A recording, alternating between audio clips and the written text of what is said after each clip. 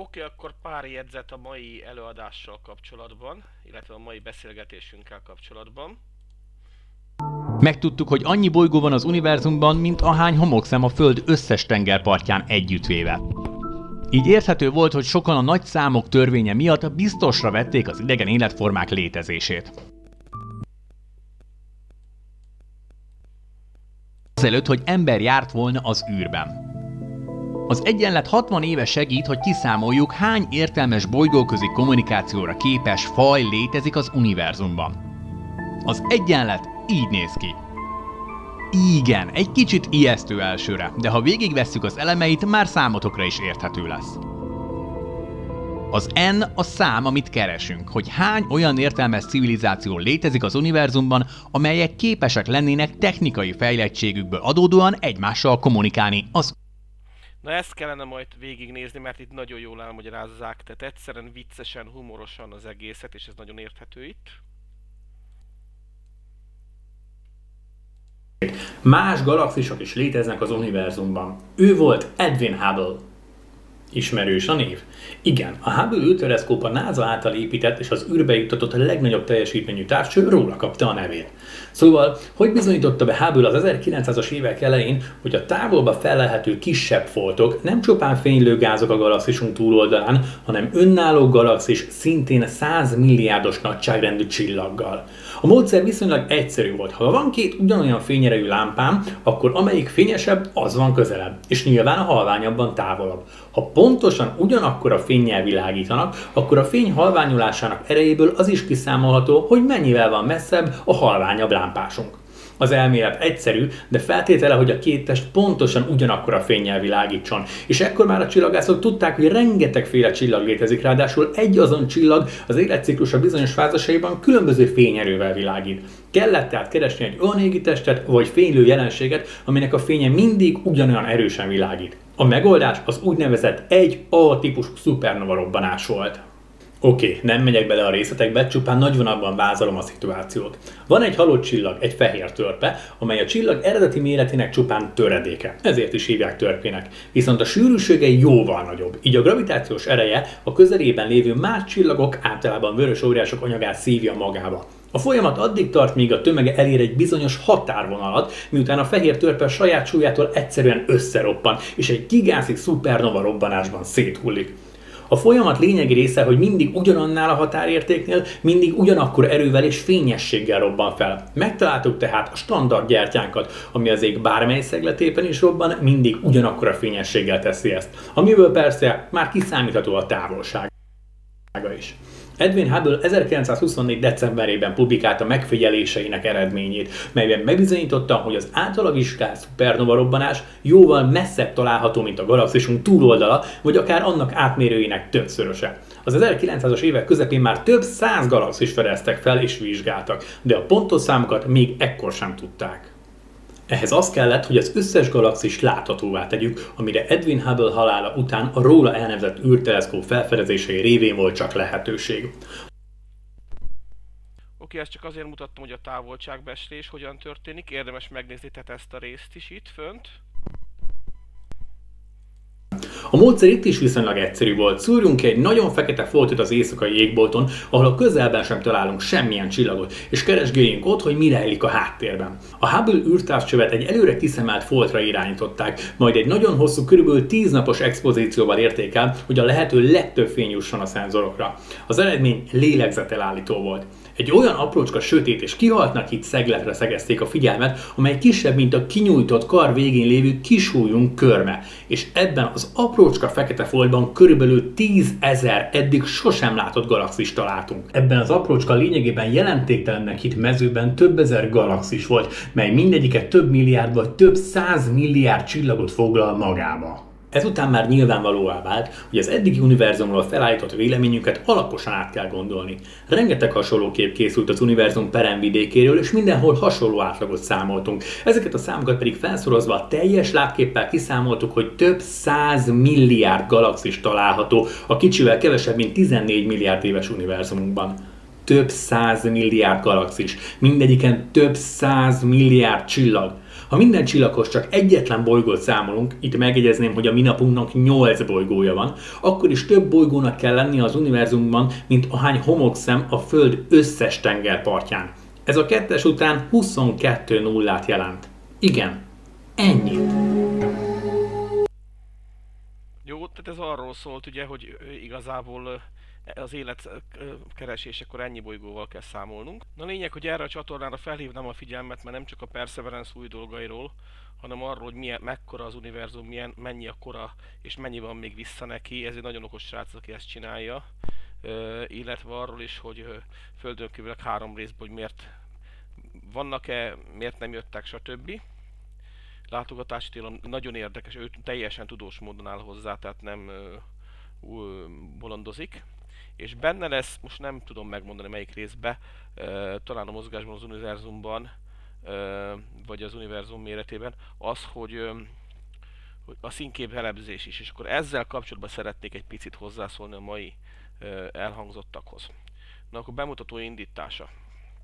Tehát, hoppá, ez onnan indult, ahonnan utoljára voltam a végén. Akkor nézzük. Tehát a mai videó beszélgetéshez egy kis pár megjegyzés.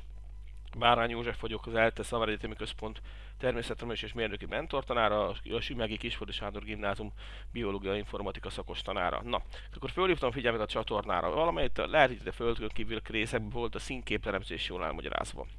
Vagy ahol vagyunk az univerz- világegyetemben, vagy a hány éves az univerzumban, vagy a mozgásban részben volt, de ott nagyon jól el volt magyarázva, hogy honnan tudjuk, hogy, hogy miből áll egy bolygó, milyen anyagokból áll. Ezzel egy kár, pár megjegyzés. Van a Young Life elmélet, ami azt mondja, hogy egyszerűen a, a, annyi minden idő vissza, tehát 13, ugye az ősrobbanástól most itt, a mai napig ennyi telt el. Ugye tizen, majdnem 14 milliárd év. De hogyha megnézzük a, az univerzum korát, akkor uh, ugye 13,7 milliárd év eltelt, és itt vagyunk most. De még azt mondja hogy a magának a világegyetemnek még legalább 100 milliárd évig, de legalább uh, itt, itt, itt 20 milliárd év, tehát uh, van még egy nagy jövője. Tehát mi nagyon korai, úgymond pionírok vagyunk, a mi, a mi galaxisunk létrejötte, és maga az élet is. Tehát az egyik elmélet az is, amiről beszél, hogy lehet, hogy mi vagyunk az elsők hogy lehet, hogy lehet. De hát ugye ez nem, nem erre mutatnak. Ha valakit a maga az is eszembe jutott, hogy a, a, az értelmezése annak a jeleknek, amit küldtünk, bármilyen formában is. Nagyon jó feliratos ötödik résznél tart péntekenként adják, sorozatbarát oldalon is például letölthető, Resident Alien, ugye a földre küldött gyilkos szándékú űr, űrlény végül is meg, mármint az egész földre nézve gyilkos szándékú űrlény, hogy az emberi fajt írtja ki, és nyoma sem marad, de semmi más nem változik. Ö, megváltozik az emberek irányába a véleménye, de nagyon érdekes, hogy hogyan értelmezne minket egy idegen lény. Nagyon, nagyon vicces, nagyon humoros, nagyon jó a színész is. Ö, aztán a színképelemzést megelőzve az, hogy mi hogyan látunk, annak utána lehet majd nézni, hogy igazából mi is szürkében látunk, csak az agyunk az eltérő ö, sejtípusoktól, ugye csapoktól, pálcikáktól érkező jelekből ő összerak egy színes képet, de ez helyzetérzékeny, személyérzékeny, stb. A lángfestésről érdemes utánézni, csináltam egy-két leírás, bár erről mondom, ő is beszél, hogy honnan tudjuk, hogy ott hidrogén vagy víz lehetséges azon a bolygón, tehát az űrkutatás magyarul csatornát érdemes nézni. És ugye raktam is ide egy pár dolgot, hogy az, hogy vas-e, az nem csak az, hogy föloldom, meg rozsda, meg stb. Igazából, mivel legtöbb esetben nincs tiszta fém, ezért mindig színképelemzést használnak, és hogy mi ez a színképelemzés, arról a lángfestés, színképelemzés, ezekről egy kicsit ö, érdemes utánézni. Ide pár dolgot összeírtam, hogy jellemző az adott anyagra, többféle hullámhosszon vizsgálható, és a legegyszerűbb az, hogyha súlyletes oldal, Ö, ugye a hidrogént sóoldattal fel lehet fogni, cinkből, sósavból készül, ö, és akkor ugye a, a maga a hidrogén is akár vizsgálható, megvan az, hogy milyen anyagokat kell beszerezni ahhoz, hogy egyszerűen akár csak egy csavarhúzóra rátéve a lángfestés az adott színt produkálja. Tehát lényegében ez lesz az a szín, amit nem takar ki, ha jól emlékszem, amit, amit nem nyel el, és amit átbocsát, és, és ez a szín ugyanúgy, hogy a visszaverődő, hogy azért látom kéknek a széknek a támláját, mert a kék színtartom, az, azok a spektrum azon részei verődnek vissza, ami a szememben kék, kék, kék, kék áll össze. Itt is ugye azt látom, ami a szememben ezt a színt adja, az összes többi az elnyelődött. És akkor megvan, hogy melyik anyag a lángban milyen színt fog majd adni, és ugyanezzel a módszerrel tudnak vizsgálni, itt van a bárium, nátrium a, a játékban is, távoli színkép vonalakat, és rájöttek, hogy, hogy speciálisan ezek a színkép vonalak, ezek ö, emissziós képekkel, mint egy új lenyomat, mint egy vonalkód azonosíthatóak, ö, hogy ez a vasé, hogy ez a hidrogéné. Vigyázz, itt is igazából érdekes, mert azt mondja, hogy a, na most nem mutatok oda, mert akkor ott az a, az a segéd lett ott alul, hogy a hidrogén emissziós színképe, a két legfényesebb tagja, a hidrogén alfája az a vörös a végén, és a hidrogén bétája a kék vonal, tehát a színképben két helyen is mutatkozik, ugye, de ugye, sőt négy, ugye csak kettő nagyon fényes van, tehát ez a hidrogénnek a személyigazolványa, de ott van föl a vasé is például. A színkép több helyen, de ilyen kódsorozatot kapnak, tehát a kitakart fény és az átengedett fény, mi volt ott a, a légkörében, vagy, az, vagy, vagy a bolygó anyagában a fénykibocsátás mellett, ez a, a, a fény hozza a tulajdonságot is. Az, a, a csillag, vagy az adott bolygó légkörének a tulajdonságait. Jó? Na most szó esett a, arról a teleszkópról, a Parkes teleszkópról. Ez kérem szépen egy gyönyörű szép film, nagyon érdemes megnézni nem kár volt rákattintanom oda, ugye egyből akkor behozta, úgyhogy page done. Műholdvevő a birkák között címmel magyarul is szinkronizált és megnézhető elég szemnél, tehát elég híres színészekkel is tomlong. És szó volt az exobolygókról, bizonyos tanulmányok szerint a Proxima már nem lak, lakható, akkora volt a sugárzás. Ez itt elolvasható, hogy pokoli napja volt a legközelebb ismertek szóval, és ki, kiégett annó. Super Flare, és ugyanakkor ez a trapistáról is, tehát volt itt háromról volt szó, a harmadikat elfelejtettem, most amit még említve volt, hogy, hogy nagyon fölkapott volt, de valószínűleg itt is azt mondják, hogy nem nagy valószínűséggel van. A távolság meg amúgy is óriási, bár állunk át az atomhajtásra, tehát ezért fejlesztünk az a meghajtáson is, de ez még így sem elegendő.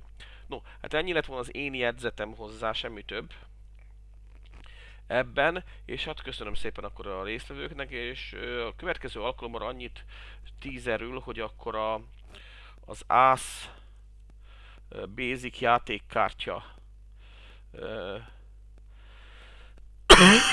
ASZ Basic játékkártya téma fut most nálunk.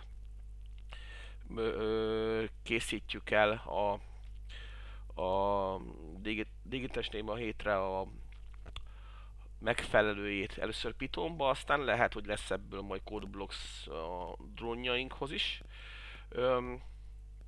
Öm, e, lényegében többféle kártyajátékon keresztül programozást oktat, és megszereztük, úgy néz ki, megszereztük már szóban és írásban is lassan megérkezik a, az engedély a szerzőnek, az alezredesnek, aki ezt uh, annó uh, ö, kitalálta, szellemi atya volt, és így ö, igazából az ő munkáját megköszönve, most nagy, ö, jó lett volna egy nevet még hozzátenni, hogy ö, azt belemondjam, de Seabayer, dr. Seabayer, tudom, egy nyugalmazott határőr, alezredes, és nagyon szégyellem, hogyha esetleg ezt most rosszul mondtam fejből, de fölvettük a kapcsolatot áttételesen vele, és, és már folyamatban van, illetve nekem ez már megrendelt példány, tehát ez már jön postán az eredeti. Van is egy, csak abból hiányzik hat kártyalap, és alakítjuk át Pitorra. Köszönöm a figyelmet, türelmet. Bárány József voltam az ELTE Szabadegyetem Központ természettudományos és mérnöki mentor tanára, a Sümegváros Gimnáziumnak informatikai biológia szakos tanára, és ez volt a dr. Benko Attila beszélgetések 8-a 2021. március 4-én.